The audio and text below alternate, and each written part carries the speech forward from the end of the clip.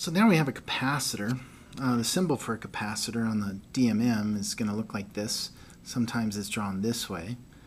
And on this device you can see the two parallel lines for the capacitor. This is a 100 microfarad capacitor. And again I'm connected to the posts instead of trying to connect to the actual capacitor. Now over here on the digital multimeter, I want to remember that this is the wrong setting because this does not measure capacitance.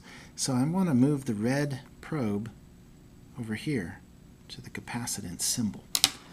So I'm going to pull this out and be careful, pull these straight out and push them straight in.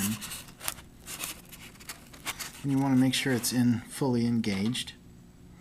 And then I'm going to turn my device to capacitance, which is right there. Now this is going to take it a little bit. It has to read the capacitance.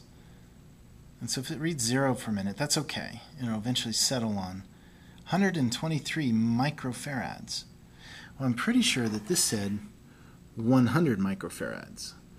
What we'll find is our capacitors are not very good in the sense that the value it has a pretty high tolerance, so it's up at 123 uh, microfarads. 122.9.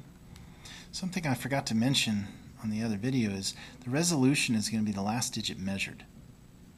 So we can measure here to 0.1 microfarads, okay, because it's counting by 0.1s. And again, the range buttons will affect it if it's having a hard time finding the range. So just to review, when measuring capacitance, make sure your probe is plugged in here for red and here for black. Turn the selector to capacitance.